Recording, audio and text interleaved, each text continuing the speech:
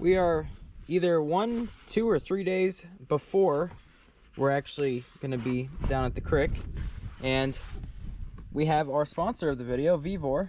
They sent me this gold panning kit and it was free to me, so I am testing it all and we'll see how it all goes. I am going to take my other pans just because they're a lot bigger, but we are going to try these pans. And this sluice had a blue pr protective uh, plastic all over it. You see some left there. I went ahead and pulled all of it off already. So here we have the mouth to the sluice, the folding sluice. It's the 50 inch. Really nice. It's got the that bottom fine carpet and it's got miner's moss. Then it has this uh, diamond plate on here and then you have these large uh, little ridges here. There's two sets of that. Then up here you have your, this is, you know, the entrance where you're, you're putting in your dirt. You have this fine mat before it even gets to all that. So I don't have it tightened right just because I want to be able to fold it for now. But it looks pretty simple to tighten. So you'll guys will see that in the video. Here's some pipettes. Really can't use these for much, but it's cooler added. But everything else, uh, you get three of these nice, they're plastic, but they're nice sized jars to hold gold in. You got your pans, you got your magnet, you've got these three little water squirting bottles, I think. Here's a nice scooper. So whenever I have dirt, I can feed it with this. We have a nice little pry bar type thing, which that's like perfect.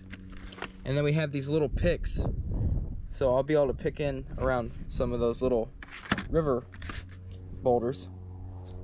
And then here I thought this was cool. It's a magnifying glass with a fold out pair of tweezers on the bottom. So you can look through and pick up like that. So yeah, I'll see you guys down on the water. It's, you know, hour 20 minutes away, but I'm not going today, but it's a little cold. So yeah, see you guys when we're there. Thanks Vevor, but we got to put it to use. All right, so we are down at the creek here. And I'm heading up to the spot. Got my backpack and two buckets. So, see you guys there. All right, we got two entire buckets of sifted concentrate. And we're gonna go ahead. Well, I don't know if it concentrates. Just sifted uh, dirt out of under the boulders. We got two buckets. I'm gonna get the sluice set up right here. And uh, we'll see how it runs. So I took off the matting here and I'm just putting these washers on and these wing nuts to lock the sluice in place. We got one there and one here. So I'm just getting these done and then I'll tighten everything up, get the mats back on.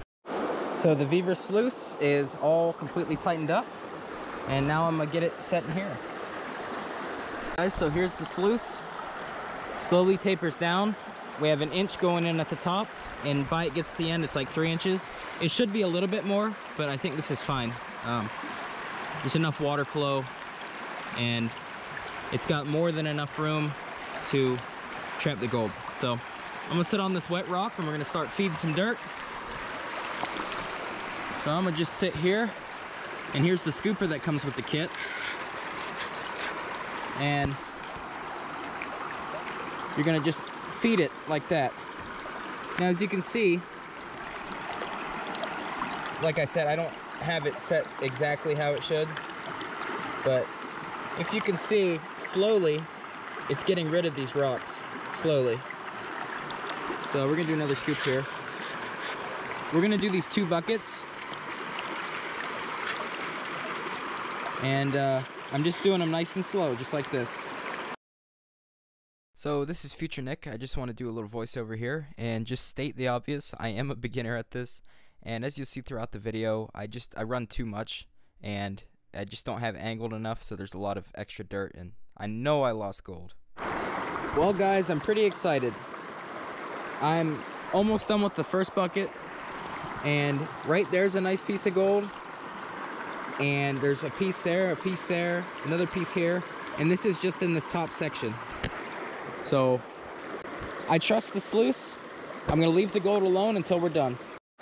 Now as you're running this through, you don't want it clumping, so just keep it really wet like this so that it falls apart.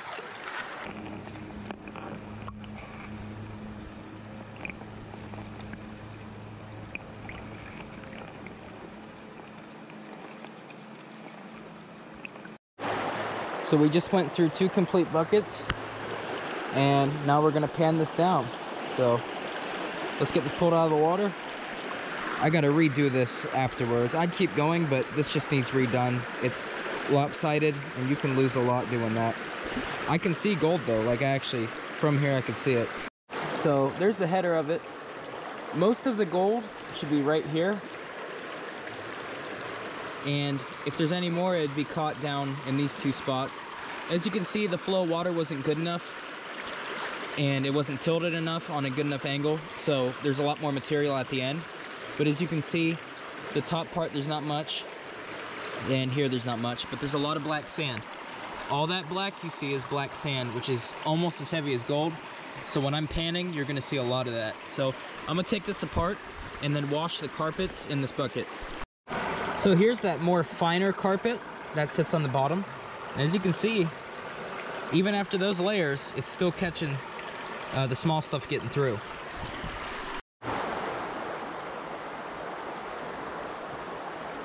Raccoon wants something. I don't got food, buddy.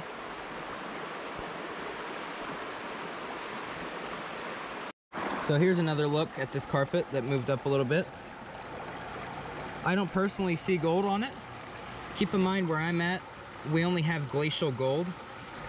But the heavy's definitely trapped here because we got fishing string with sinkers and all kinds of stuff. It's always worth checking everything.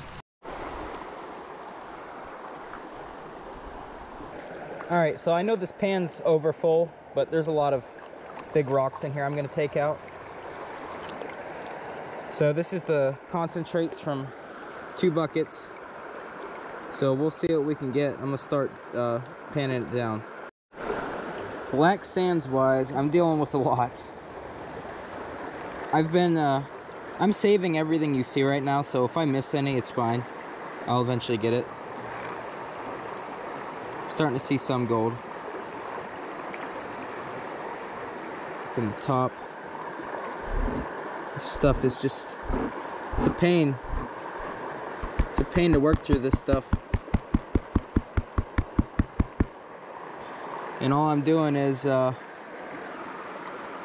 slowly working it down and then I use my squeeze bottle here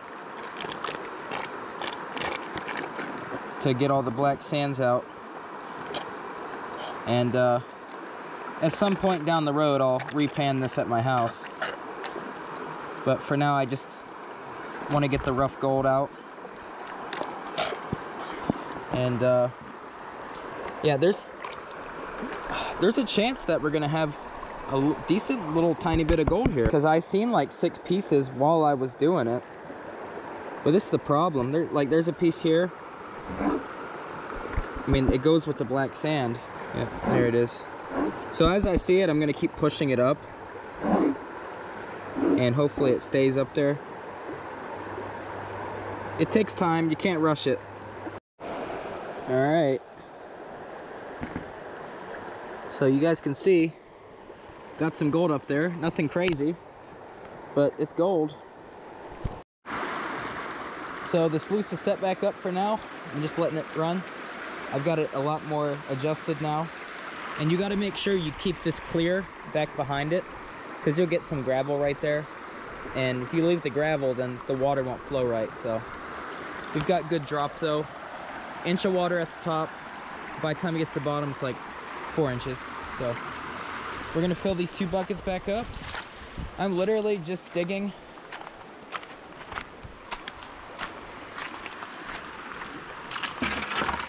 You see this big rock right here?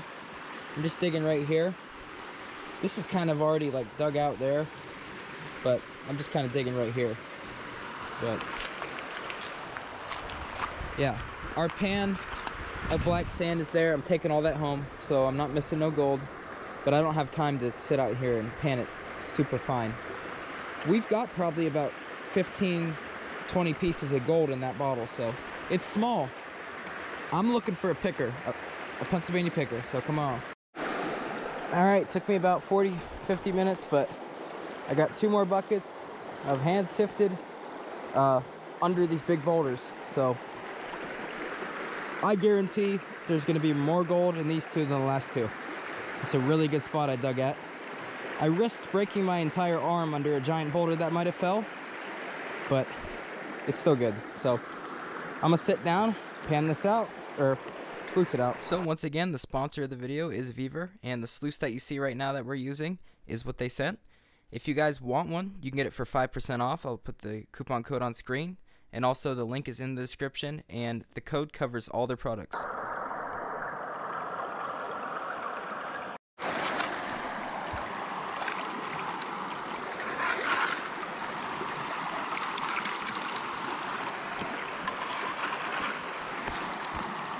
Look at this.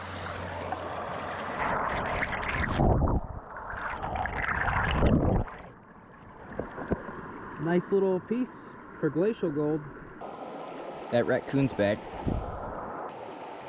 Hmm. Hopefully it swims across.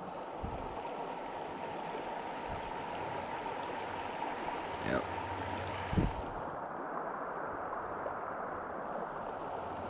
There's something something wrong with it, but I only have a 9 millimeter. That's too much, especially for here. Huh. I don't know, maybe it just has some kind of walking problem. Well, that's a nice piece of gold right there. You guys can't see it, but I can. Another raccoon swam across. I'm not sure if it's the same one or what. Probably gonna attack me, honestly.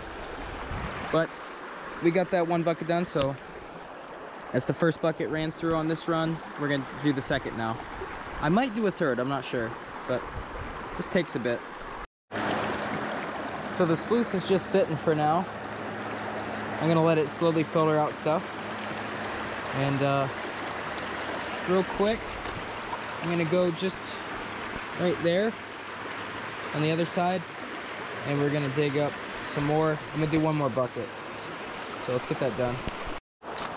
Got another bucket here. I'm only gonna run three. I think past three buckets, it's, you're just risking losing gold.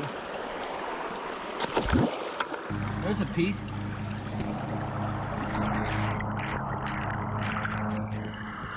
It's right next to a little one. All right, so last run was two buckets. This is three buckets.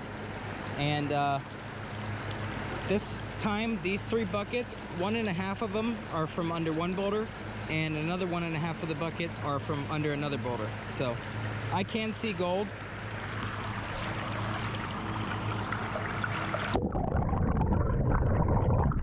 But I'm gonna go ahead and pull the sluice up and clean it out. So I'm gonna take my time and divide this into either two pans or three and I'm gonna suck out all the gold I see and then save the rest of the black sand in that one pan. So let me do that. So that was pan three. We still don't have any of the big chunks. So either this pan or the last one are, is gonna have most of it. I pulled out about seven pieces of gold, just smaller pieces. So we'll see what the uh, last pan holds.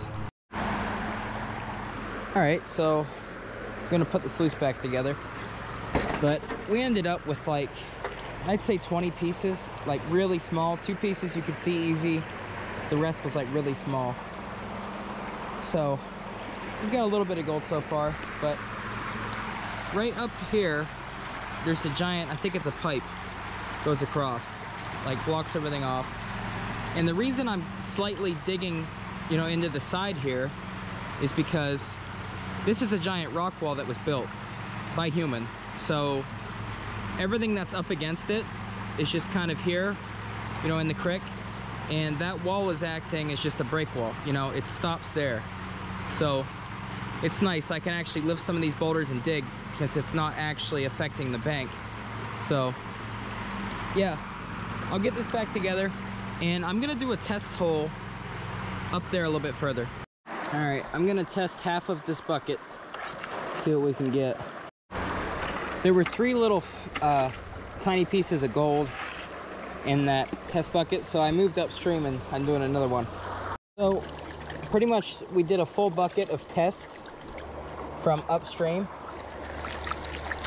and now I'm just speed panning. There were two little flakes, or not flakes, just two little uh, flour gold pieces. But it's gonna take three pans to get through it. There was a lot of sand. I'm just kind of speed doing it because I'm getting the top layer off so there won't be much gold. But that last pan, we had gold and we have gold again. I'm not even gonna bother trying to show you, it's really small. But I'm just getting this out of the way, resetting the sluice, and then I'm gonna dig deep uh, under just a boulder. I'm honestly kind of surprised with that. Um, I was only digging just a few little spots there, about a bucket worth of uh, material total. And we had about, I don't know, 10, 10 pieces. So I'm gonna go ahead, set this back up here, and move up to the rock wall again and see if we can get any more. Because I seen quartz up there. All right, I just took a really nice half a bucket sample from up the creek. I seen quartz again, so hopefully that's where glacial till broke down and we have some gold. I ran two buckets through. See, we got some quartz down in here. Um, a lot of black sand behind each of these little curves here, but I can see one piece right here, and I seen another tiny little piece somewhere, but I had the water moving a little fast, so I'm assuming the gold is like stuck right here. Because that's the only thing with this is there's like a three quarter inch height difference right here between this and here. So it kind of makes it a little weird. And then the wing nut makes the interference. But this wing nut pockets the gold right here. So I'm gonna get this cleaned up. So I definitely did the last sluice run. Back is killing me. But I mean, we did like almost eight buckets after this one's done, so. Or we, we've done pretty much eight, eight and a half, yeah, after this. So here's a half bucket. Got to pan it out. It's probably four or five pans. And uh, yeah, we'll see, we'll see what we get. We're gonna tip today's gold. See what we got. There's not much gold in this state. Here we go.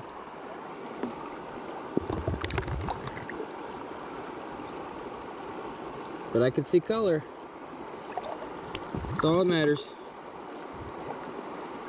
And there's a sinker that I stuck in there. Lots of lead. Usually I just have it separate, but let me uh, set the pan down for a second. Lots of gold. Pretty good. Slowly pan it down. Well, that's the best view of it I'm gonna get you. Uh, it's taking way too long to separate it from the black sand. I have to do it at home. It's gonna take a good 30 minutes to get it right, so.